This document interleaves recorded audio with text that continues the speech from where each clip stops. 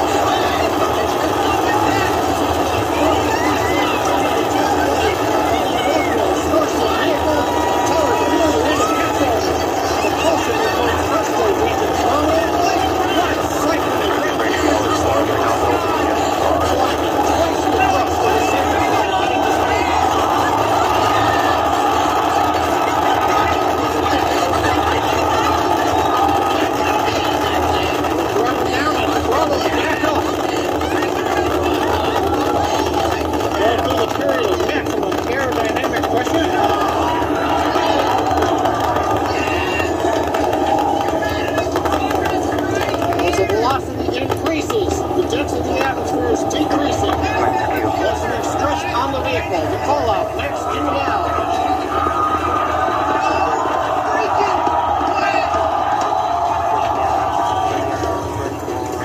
Continuing to watch the first stage as we head down range.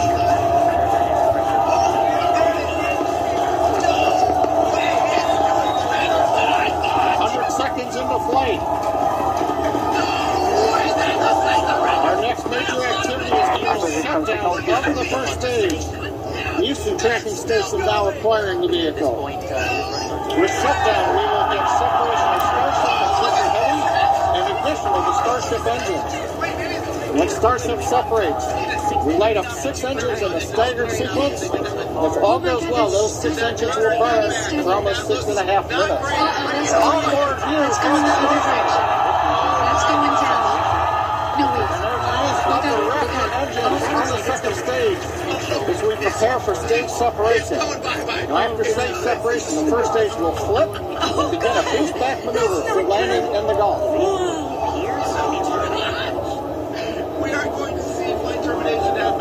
my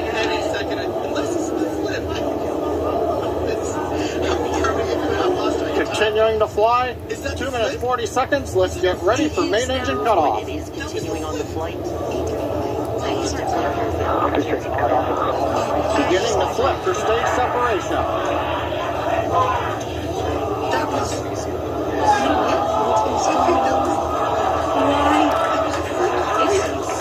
It's tumbling. It's tumbling. Raptor engine appear to continue Sorry. It's just spinning. It's just spinning. Look and at that stunning view. No, that's they're supposed to do like a full. Here comes stage separation.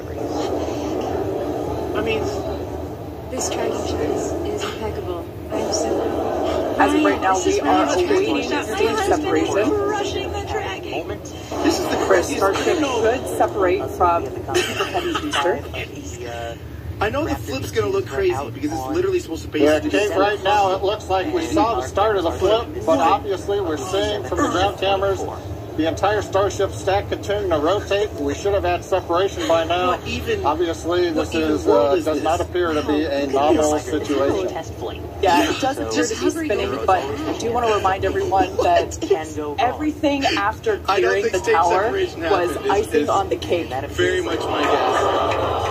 There it goes. Stage Okay, seven. stage seven. Or no, we're sorry, we're getting. Not stage seven.